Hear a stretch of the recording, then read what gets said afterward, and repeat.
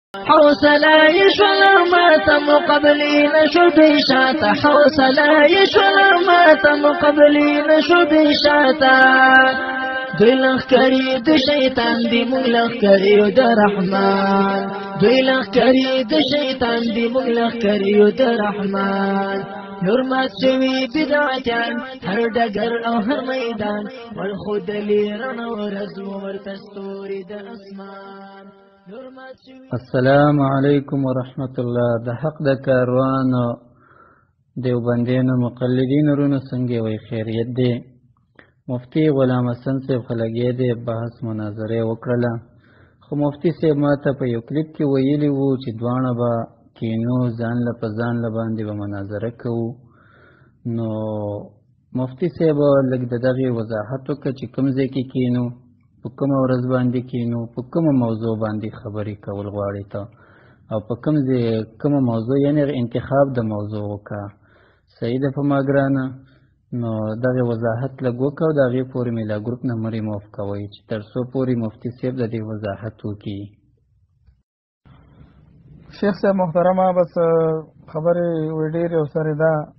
بس سبا ځان دا کا تیار کا استوا لرش مې مو ته بحث کو او بالکل په دلته به وکړو خبره مشته څه وخت چې ته تیار ما ته به وایې شیخ صاحب محترم تاسو چې کله د غلام حضرت پالټي سره مناظره و په هغه کوم باندې تواصل باندې پنځه شپږ شیخان تاسو راغلی او شیخ عبدالمنان زیبو حضرت محمد زیبو افضل شیخ زیبو او هغه نور هم هغه د تاسو دا نه لګول دا د تاسو چې بیا دا شیخ امین الله زیب مناظرې کړې دي اوس موږ د پاره دا شرط ولې لګي موږ به در سره لیکلو کو کچېره موږ خلاف ورزیو کړه موږ به بللی پنځه پنځه کسان شو و ورستاسو د وخت خوخي زه تاسو د خوخي موضوع تاسو د خوخي راځي کینی ها کچری مخکې تاسو یو په یو مناظره کړی ما ته وخیوه مونږ ته وخیوه چې تاسو یو په یو باندې خو تاسو څه هغه یو دا کوي چې تاسو شر جوړوي شر ټول عمر تاسو جوړ کړي په موږ باندې نظام دا لګوي نو تاسو تاسو وکړي شیخ صاحب کسره دې کیږي ډېر کلیپونو ته ضرورت نشته دی پنځه پنځه کسان وخت ستاده خوخي زه ستاده خوخي موضوع ستاده خوخي پنځه پنځه کسان بکینو په قاعده به بحث وکړو چې کومه موضوع دې پکې خوښه او بسم الله الله اکبر مفتی غلام حسین صاحب یو ځل مې منع کړلې چې دا مونږه مونږه مکوه تابع مونږه مونږه شروع کړله او ته دا وې چې شیخ امین الله مفتی مجیب الرحمن یو بل مناظری کړې دی او هغه ځان لزان نه دي کړې کسانې کې کېنولیو ناغو که په ځان لنه کولې نو شیخ امین الله کې اخلاص سو او دا رنګې په اخلاص سره د قرآن او د سنت خدمت کولو هم دا رنګې موجب الرحمن د دیوبندیت خدمت کولو مفتی موجب الرحمن نو تاسو خو دیوبندیت خدمت نه کوئ تاسو خو د خپل زبونه خدمت کوئ بزنس غم د سره دی د پیسو در سره دی تا ته پته نشته دی ولی چې تاسو په دې د مناظرې په نوم باندې څومره د عوامو نه پیسې ووالې د عوامو هم دوکه کړل او عوامو ته چې تاسو د یو شکل مرته جوړ کړی چې ګنې مونږ خدمت کوو حال دا ده چې تاسو په دې شیونو باندې بزنس شروع کړی دی کله جماعت مخکې کوئ کله مدرسه مخکې کوئ کله ټوپکې مخکې کوئ او کله چې مناظره مخکې کوئ عوامو ته په هغه وخت کې صورتحال بدل و شور به نه و چغې به نه وې لانجې به نه وې جګړې به نه وې لکې وهل به نه و پکې کنځل به پکې نه و نو ځکه به هغو ډېر کېنول او اوس چونکې تاسو یو بزنس کوئ لکې وهئ کنځلې کوئ شور کوئ مناظره نه کوئ شهرت کوئ د دې وجې نه مونږ وایو که چېرته تاسو شهرت هم کوئ خیر دی د یو کس د شهرت وشي که بزنس کوئ نو ظلم دی که نه چې دا په څلور پنځه کسانو باندې تاسو چې دا ټول عوام لوټ کړل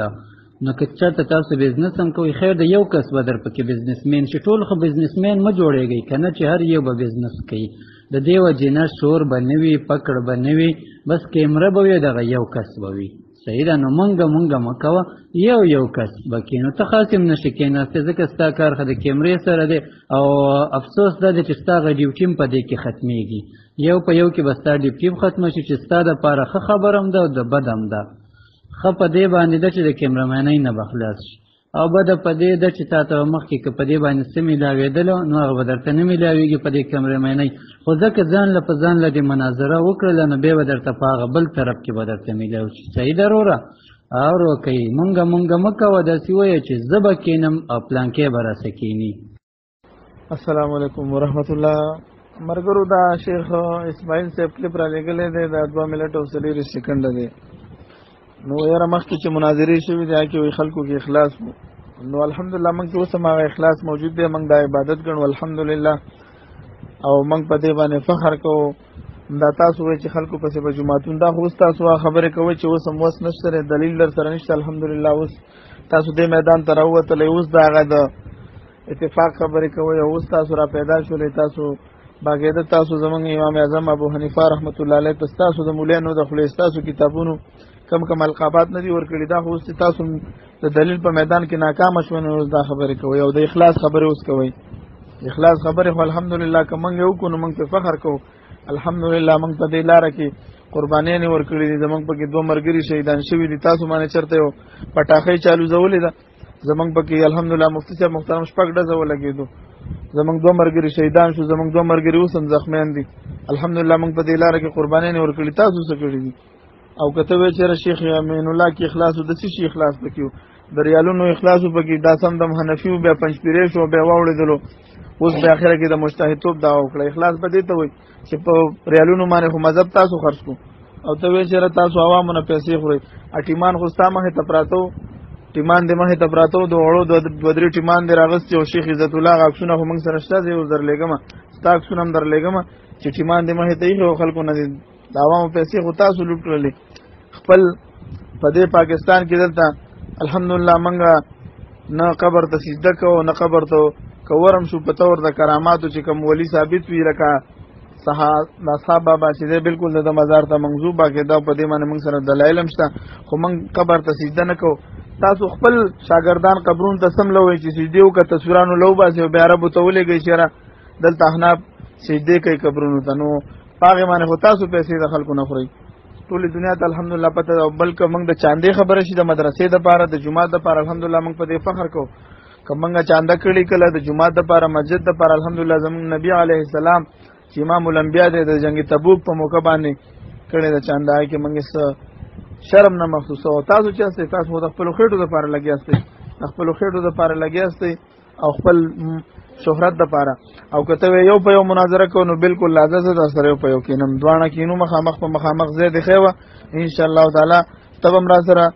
لوزو کې مسلمان او زم هم سره لوزو کم زم هم چاله زین خم یو په یو کینو مو ته معلومه کنه چې دای ګز دای میدان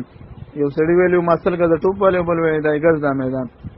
مفتی صاحب تاسو دا کلیپ دا دی په دې کې تاسو اوله کې ډېرې تیزې خبرې کړې دي زما ګرانه او ما ته نږدې د زړه سره نو په دې اخیره د کلیپ په اخیره کې تاسو ویلي چې بالکل زه تیار یم کینو بس زه یم چې صرف د دې ملګرو د دې ګروپ ملګرو په مخ کې موږ وخت وټاکو ځای وټاکو او بیا چې دې موضوع خو وټاکلی شوله چې عقاید دي خو چې وخت او ځای معلوم کو صحیح ده روره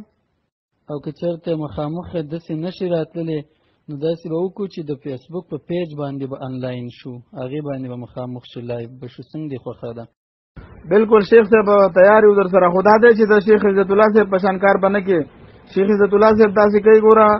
هغه موضوع یو کې دی ولر شي بل خو ته ماته ته ګوره پرون نه بار بار ویل چې لکه ته داو جواب داو نه پیژنې او بس ورګړې بیا ګوره کم خلاړو خبره کم دي نه کم دي د بوتل سره په خپل وخت ډکو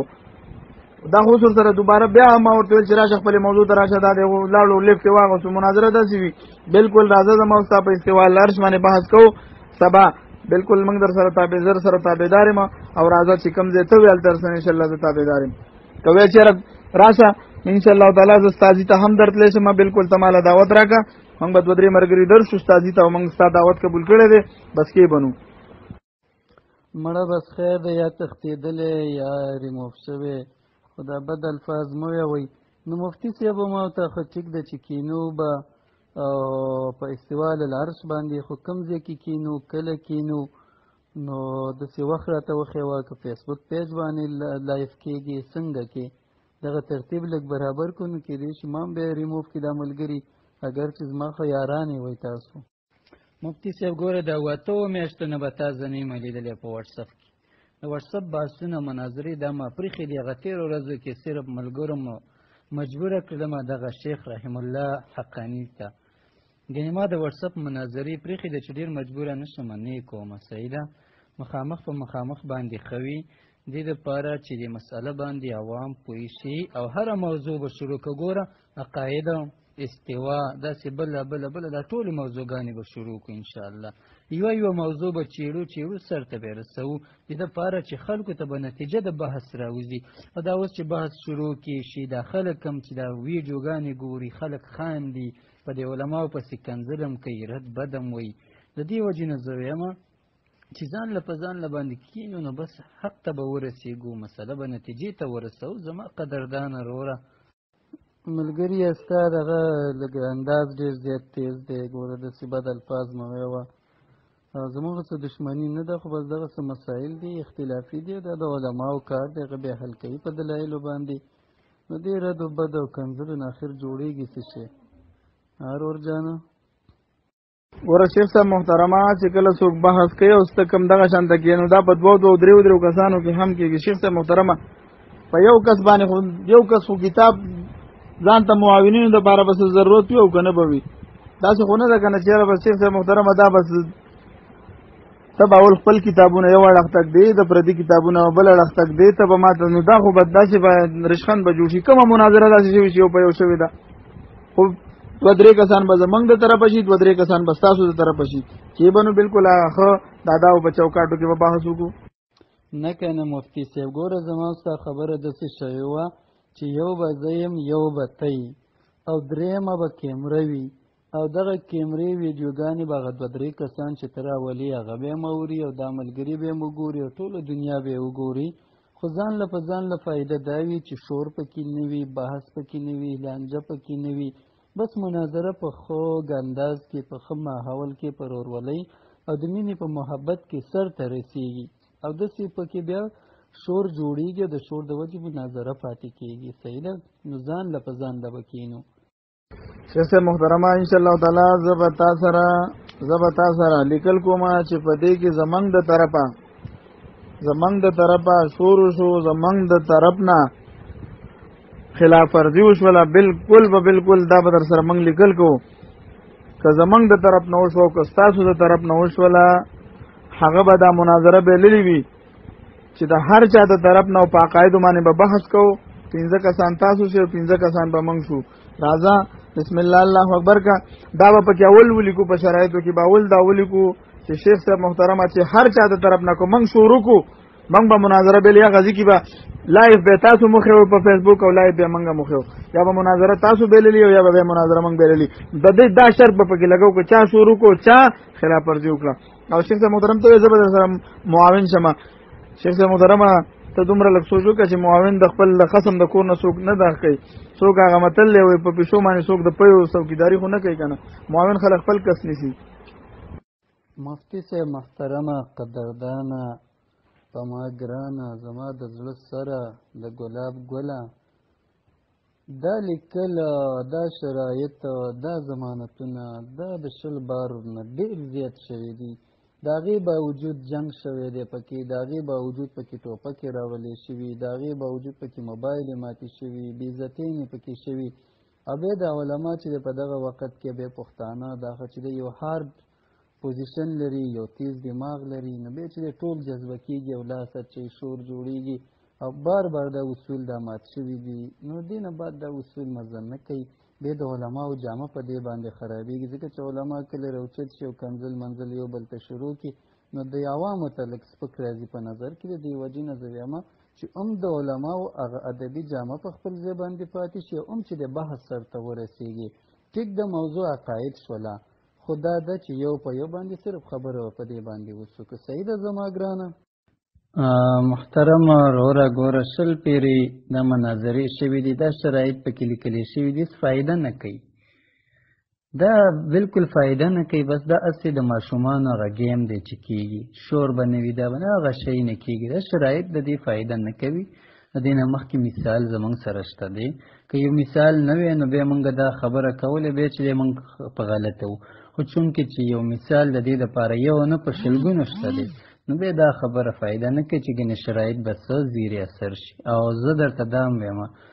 چې صرف غلام حسن نه چې په دیوبندیانو کې څوک هم انشاءالله زه ورته تیارې مفتي ندیم نه راواله تر غلام حسنه پورې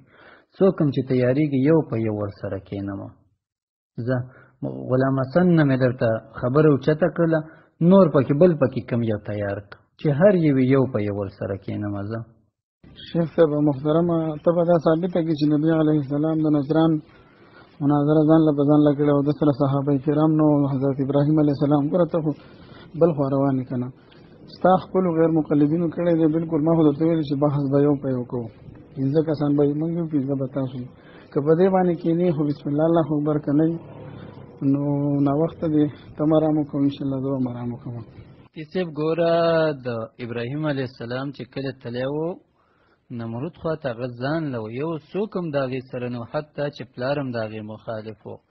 نبی علیه السلام چې کله نجران ته لاړو نو هغې سره معاونین ټیک د صحابه ورسره وو خو هغو بار وو هغې د عیسیانو سره خبرې نه دي کړي باقي پاتې شوله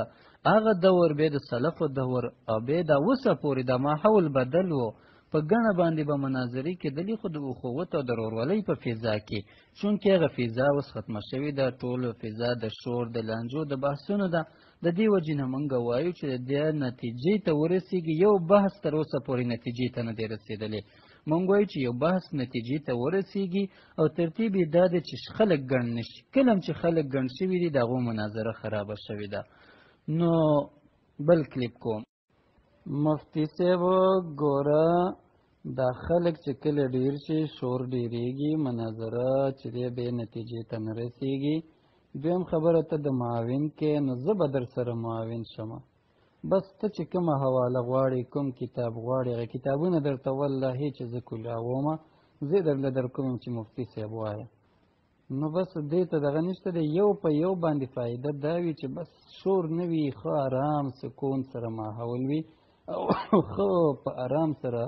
مناظره سرته ورسیږي او بیا خلک یې ښه په آرام سره واوري او چې کله کسان ډېري یو یو څه وایي بل بل څه وایي بله بله خبره وکړي شور جوړ شي جنګ جوړ شي او بیا ستاسو ملګري خو ګوره اکثره موبایل خپله مفتي ندیم صاحب دامت برکاتهم هغه دامت برکاته عفوا غلط مې ولویل او خو اوس به اعتراض ونه کوي نو هغه چې د خپل یو کس نو موبایل په لټواله دي نه مخکې مناظرې چې څونه شوي دي ټول خرابې شوي دي د دې وجې نه زه وایم چې بیا خراب نشي سر ته ورسیږي ابرار چې دا کلیپ اول سر مې درله واورېدلو مړه پرېږده موږ قرآن حدیث نه منو نو بیا خو کافر یي نو بیا د باندې کفر فتوا ولګوئ بیا مناظرې سره کوئ د الله بندګانو دونه غولو مه کوئ بې انصافي مه کوئ دا دومره زیاتی ته حاجت نشته دی موږ قرآن هم منو موږ حدیث هم منو بلکې تاسو د دې ګواهي کوئ چې تاسو دوه اصول دي قرآن او حدیث زه د مفتي صاحب کلیپونه اورم تاسو نور کلیپونه مه کوئ چې ما مفتي صاحب خبره وکړو مفتی صاحب ګوله غلام حضرت هغه خلکو سره مناظرې وي هغه وخت کې شور بچانک او پکړ نه و دې وجې نه په ګڼه باندې اوس چې کله ثابته شوله چې د ټولو خلکو مناظرې ګوره د اهل حدیثو ستاسو مناظرې شوي دي شور ستاسو د پنجپیرینو شوي دي شور بیا بېرته ستاسو همدغه غلام حضرت صوفیانو سره شوي دي شور یعنی اوس ماحول د شور جوړ شوی دی چې کله مناظره یو نتیجې ته رسیږي په منځ کې پکې شور شروع کیږي زه هم چې د دقه شي نه به ځان وساتو او دا یو حکمت دی د شور د نیولو دپاره د شور د ختمېدو دپاره دا یو حکمت عملی ده چې موږ به اختیاروو او دغه کم کسان چې موږ سره ځي د هغو کار زه کوم که نه انشاءالله در سره کوم کتاب در سره نه وي والله چې زه درله در کوم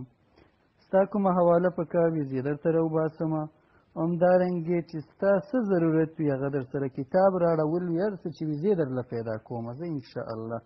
ستا د معاون کار زده کوم شیخ صاحب محترمه ګوره الله دې خوشاله کا دا شوی دي دا تاسو کړی دي کنه تاسو چې په توسل باندې بحث وو تاسو ټول شیخان حاضر شوی او کنه حاضر شوی نو تاسو هغه وخت د غلام حضرت سره دا شرط ولې نو لګول چې یار یو په یو بکینو بس غلام حضرت ته ویلې وې چې تر راشه تاسو بل ته شیخ عبدالمنان سي په یا شیخ عبدل سي په ورته ناس وي یا حضرت محمد شیخ سي په شیخ صاحب محترم نو موږ د پاره به دا تاسو دا دغه ولې بدلوي تاسو موږ د پاره به شرایط ولې بدلوي نور خلکو سره په 15 15 شي په لس لس کې نه او چې موږ ته خبره راشي بیا په 15 کسانو 15 کسان دا ضرورت د پاره موږ بوزو معاونین بوزو تاسو خو نه د چیرور بس دا خو د واتس اپ مناظره نه ده د واتس اوس مناظره ده موضوع روانه ده دغه د جرابو او خبره کم خوا بوتله خبره کم خوا بوتله خبره هغه چې د عظمت انبیا ته لاړو خبره خوا بوتله نو دا مخامخ خدا شي نه کیږي کنه شیخ صاحب نو موږ درته دغه وایو چې بارا یو موضوع باندې سره تیارې او کې مغه باندې وروره دغه توان نه لرو خو اوس به ان شاء الله ځان کې پیدا کو او د مفتی صاحب خدمت به وکړو خو د اخلاص به وکړو سید غمخور روروی و دې ته خو مناظره نه وي دا خو ملګرتیا شو نو او که نه موږ هم وایو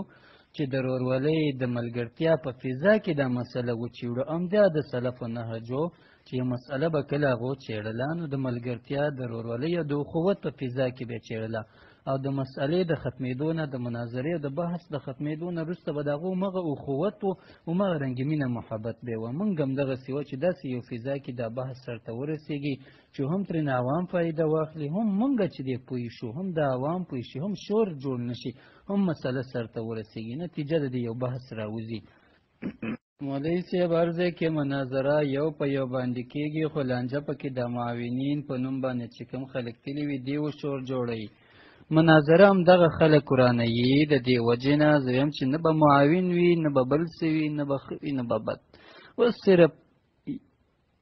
ون ټو ون صرف زه او ته او دریم نمبر کیمرا او د معاون کار درله زه کوم ته د هغې نه بېغمه شه کتاب کلاول راخستل بندول دا خدمت دې په ما باندې دی صحیح ده او دا کم معاونین چې مناظره دیو خرابوي مناظر مناظره نه خرابوي معاون مناظره خرابوي د دې وجې نه بس یو په یو باندې ښه ده خو چې زی په زی به دغه شو وټاکو او ورځ به وټاکو او زه به چې دی صرف ورځ به وټاکو زه به چې دی دواړه به لاړ شو په یو چکر باندې که نه بس یو ځای کې به کینو انشاءالله صحیح ده مفتی صاحب ګوره داسې به وکړو یا ښه داسې وکړه چې یو په یو باندې به دواړه کینو خبره به وکړو یو موضوع به سر ته ورسو ټوله دنیا به په هغې باندې نظر واچي هغو به پې هم افهام تفهیم نتیجې ته ورسیږي د هغې نه بعد به بیا بله موضوع را مخې ته کو هغه به سر ته ورسو یو یو موضوع به یو په یو سر ته ورسو د دې دپاره چې خلک یې نتیجې ته ورسېږي په دغه موضوع کې او د موضوع ټوله واوري او هغو پې پوه شي دماغ او ذهن د هغو کولاو شي او دا په دې طریقه کېږي چې کله یو په یو باندې کېنو شور ختم شي او موضوع شروع شي او اخر ته ورسېږي صحیح ده که ته دې ته نه تیارېږي نو بیا خو به دې ته تیارېږي چې د واتساپ مناظرې به بیا ته پرېږدې ځکه چې یو په یو باندې نه کینې ته نو بیا په واتساپ کې چې د هم دا موضوعګانې دا بحثونه مه کوه صحیح ده نو دا یو چې د یو په دې کې انتخاب کوه یا به د واتساپ مناظرې پرېږدې یا یو په یو باندې کینه کومه یوه دې خوښه ده ګوره شیخ صاحب محترمه چې کله څوک بحث کوي او ست کم دغه شان تکې نو دا په دوه دوه دریو دریو کسانو کې هم کېږي شیخ صاحب محترمه په یو کس باندې خو یو کس خو کتاب ځان ته معاونینو د پاره بس ضرورت وي او کنه به وي دا څه خو نه ده کنه چې بس شیخ صاحب محترمه دا بس ته به اول خپل کتابونه یو اړخ تک دی د پردي کتابونه بل اړخ تک دی ته به ماته نو دا خو به داسې به رشخند به جوړ شي کومه مناظره داسې شوي چې یو په یو شوې ده خو دوه درې کسان به زمونږ د طرفه شي دوه درې کسان به ستاسو د طرفه شي چې به نو بلکل هغه ښه دادا او په چوکاټو کې به بحث وکړو شیخ صاحب محترم زه خو د خپل خبرې نه انکار نه کوم بالکل خبره به زه یو په یو در سره کوم بالکل موږ به پنځه کسان در شو خبره به یو یو خبره به زه کوم خبره به ته کې بس ما سره به خپل معاونین ناسي ما سره به غي خبره خبره د کار نشته رې زما اوستا به خبره وي کم سړی چې د مجلس خلاف ورزي کوله بار به وبس واخو ما ته بکو بالکل در سره زه تیارم بسم الله الله اکبر راځه د غز د میدان پنځه کسان زه خودنه کار نه کوم خبره به یو په یو کو بالکل در سره کینم چې کم زه ستا خو خو پنځه کسان به منګیو پنځه به تاسو چې کم زه ستا خو خو ان شاء الله تعالی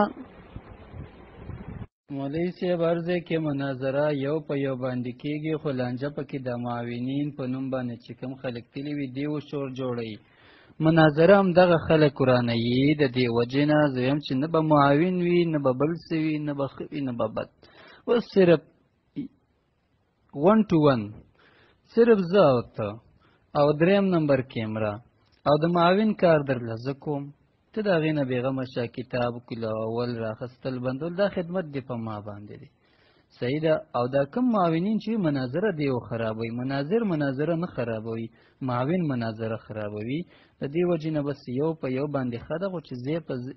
زی به دغه شو وټاکو او ورځ به وټاکو او زه به چې دی صرف ورځ به وټاکو زه به چې دی دواړه به لاړ شو په یو چکر باندې که نه بس یو ځای کې به کینو انشاءالله صحیح ده او که چېرته مخامخ داسې نشي راتللی نو داسې به وکړو چې د فیسبوک په پیج باندې به انلاین شو هغې باندې به مخامخ شو لایف به شو څنګه دې خوښه ده مفتی صاحب ټیم ډیر زیات نا وخت دی او لس بجې دی او د کېدو ټیم هم دی بیا سهار مونږ نا وخت کیږي نو بس په دې باندې به فیصله وکړي ان شاء الله چې دواړه به کې نو خدا راته وایه چې ته کومه ورځ باندې وزګار وي هغه ورځ راته فقط دغه کې سټیم تاریخ موضوع خو معلومه ده او زه به ان شاء الله دواړه په ګاډي کې کینو په ګاډي کې به بس لاړ به شو یو هوټل کې به کینو جماعت ته بس داسې یو ځای ته به لاړ شو چې ښه پر سکونه ماحول به وي چکر به هم ولګوو ګپ شپ به هم ولګوو او مناظره به هم وکړو صحیح ده که نه انشاءالله ملګرو تاسو په خپل قضاوت وکړئ تاسو په خپل د مفتی صاحب دا کلیپ وګورئ چې د بګی دې ویلي د شیخ اسماعیل صاحب وتوی یو په یو مونږ کینو دا وته بالکل تیار یم دا کلیپ وګورئ کدی کی د داسې نه ویلي اقرار د نه کړی جو بالکل مونږ بیا ګناهګار تاسو دا کلیپ د اخره پوری 2 منټ 50 سکند دغه د اخره پوری واوره